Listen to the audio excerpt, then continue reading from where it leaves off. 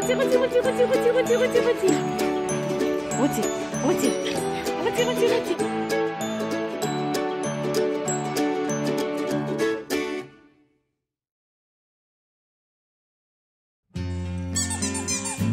This little French bulldog won't let anything stop her, even when she lost both her eyes.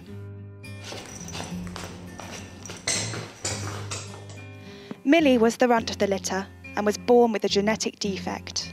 Due to overbreeding, her eyes and head were extremely out of proportion to her tiny body.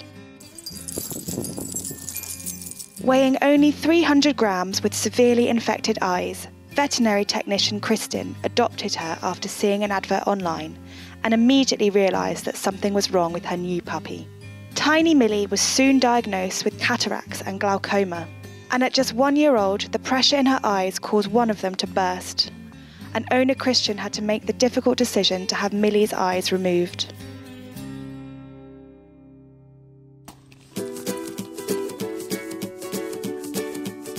Immediately after the operation, there was a sudden change in Millie's mood, and she found a new lust for life.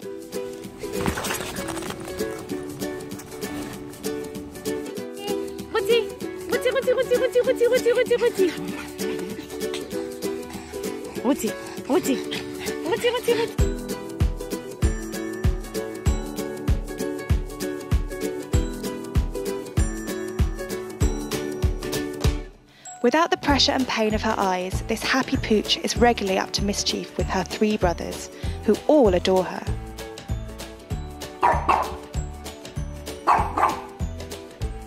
Especially Punch the pug. This once tiny helpless pup is now independent and the leader of her canine crew.